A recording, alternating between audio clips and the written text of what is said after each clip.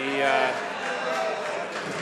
member for Vancouver Quadra. Mr. Speaker, I'm fortunate to live just a short walk from the Pacific Ocean in my riding of Vancouver Quadra, and some days I can hear and even smell the ocean from home. So I am pleased to highlight June 8th, World Oceans Day, a chance to celebrate our oceans and to thank all who help us understand and protect them.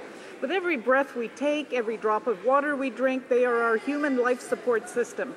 Oceans generate more than half of the oxygen we breathe, regulate climate, provide invaluable resources, support businesses, trade, and commerce, and most importantly, offer an endless source of inspiration for the human spirit.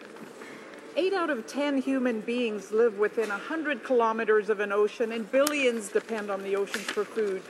Yet too many commercial fisheries are overfished, and climate change is making our oceans warmer and more acidic and a mere one half of 1% of global marine habitats are protected.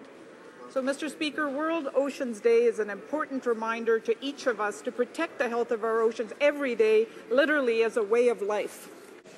The honourable member for York Centre. Speaker.